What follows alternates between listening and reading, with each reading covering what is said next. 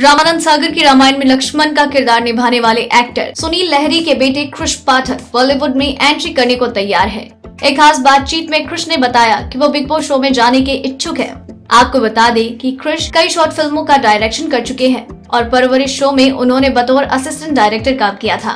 कृष इन दिनों एक music video में काम कर रहे हैं। वो जल्द ही निखिल आडवाणी के साथ काम करेंगे।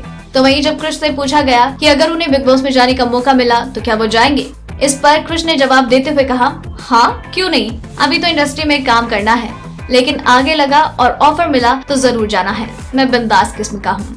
कृष्ण ने ये भी बताया कि वो करण जौहर, अनुराग कश्यप, शाहरुख खान के साथ काम करना चाहते हैं। इसके अलावा वो वेब सीरीज़ में काम करने के बारे में भी सोच रहे हैं। बातचीत के दौरान कृष्ण ने और भी कई सवालों के जवाब दिए। अगर आपको ये स्टोरी पसंद आई तो इसे लाइक और शेयर करें। साथ ही अपने व्यूज़ हमें कमेंट करके ज़रूर बताएँ। सब्सक्राइब करें हमारा चैनल ऐसी ही लेटेस्ट और इंटरेस्टिंग न्यूज़ के लिए।